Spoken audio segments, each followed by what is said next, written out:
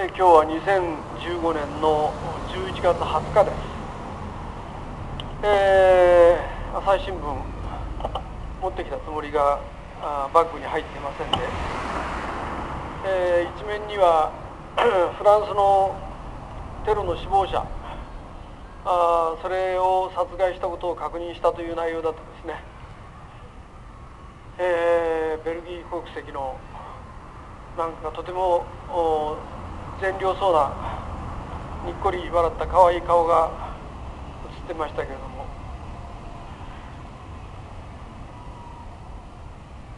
あそれにしてもまあ テロはやってもらっちゃ困るわけで。私はいつも言ってるのは自分がされたら嫌なことを人にするなしない。それが、まあ、平和というものの基本中の基本ですよね。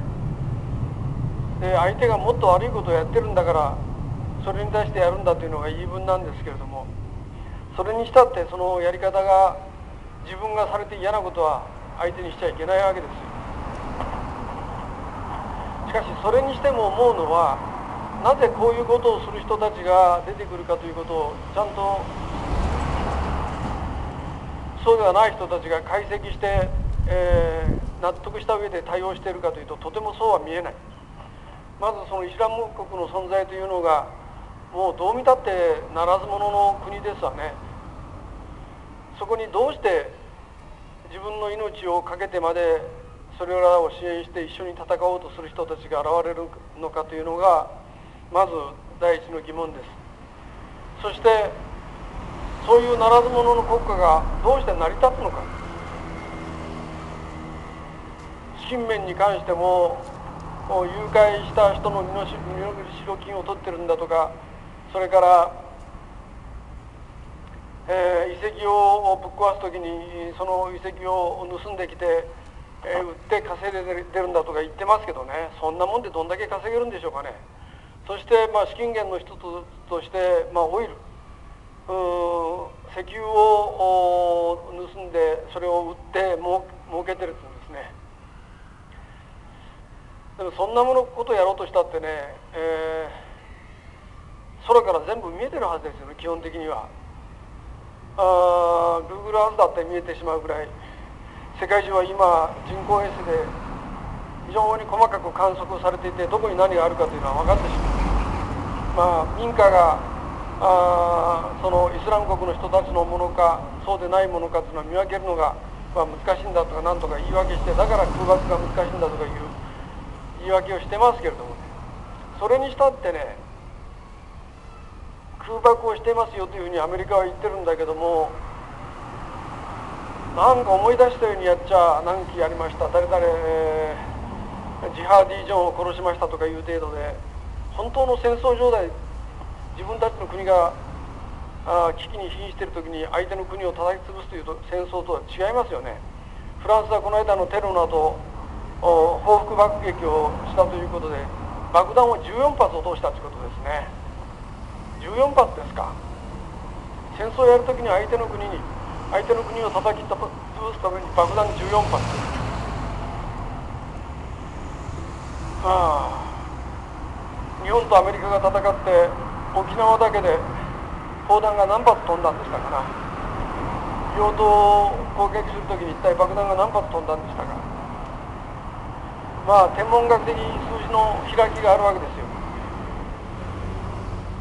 どうもこの有志連合世界中がイスラム国と戦ってるはずなのに本当に潰そうとしてない昨日のニュースだとロシアがイスラム国の石油を積んだトラックを爆撃して500台潰したって言ってましたねあっという間に500台潰せるんですねロシアは。だからまだ私はロシアがやる方がマジなんじゃないか。ロシアなんかアメリカに気遣ってマジでやっていいのかよというふうに断りを入れてやってるんじゃないか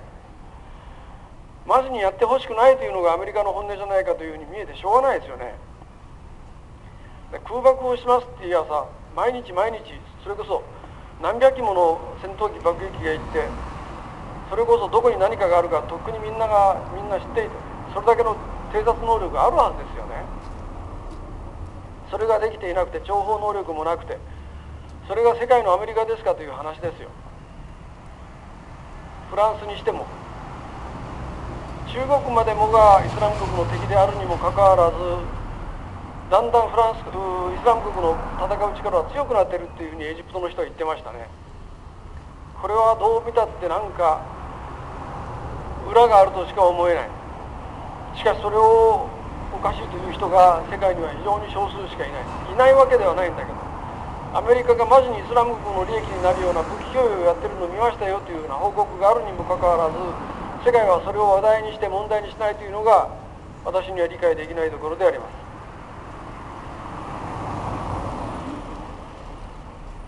えー、今日はカルカッシュの曲でウェーバーの次第による変奏曲ということですね